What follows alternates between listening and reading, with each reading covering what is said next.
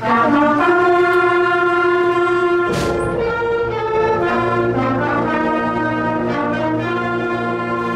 morning, CMS. Today's newscasters are Jackson. Brady. And Jesse. Applications for Camp Burn are now available. Please see Mrs. Peppers, Mrs. Hillman, or Mrs. Collins for, for an application. All applications are due no later than Friday, October 14th. NJHS will be selling tickets to win raffle baskets. The baskets will be on display during conferences, and the tickets are 50 cents each.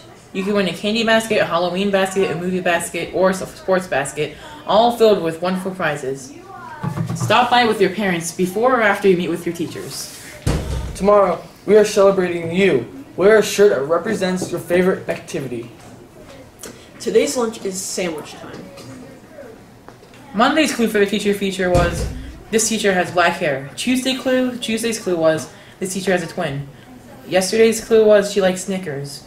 And today's clue is that she works out of two rooms. Tonight, Discovery Tours will rep- present information for the 2017 Chardon Middle School field trips to Chicago and Washington, D.C. Anyone who is thinking of attending is strongly encouraged to attend. The D.C. meeting the DC meeting will be at 6 p.m. and the Chicago meeting is at 7 p.m., both in the LGR. Hey Jesse, are you participating in the Movathon this Friday? I was, but due to the rain, it has been changed to Thursday, October 13th. Oh, okay. Jesse, are you participating in the Movathon on October 13th? Actually, yeah, I am. You, you may ask why. Because I want to help earn money for our PTO and get to go outside during the school day. Brady, are you going to participate? Definitely. I even emailed my aunt, who lives in Arizona, and kindly, kindly asked for a donation from her. I'm looking forward to crushing the other 8th grade teams in dodgeball. Remember, to, remember to earn your pledges. Every penny the PTO earns from the event goes right back to us. The students at CM goes right back to us, the students at CMS.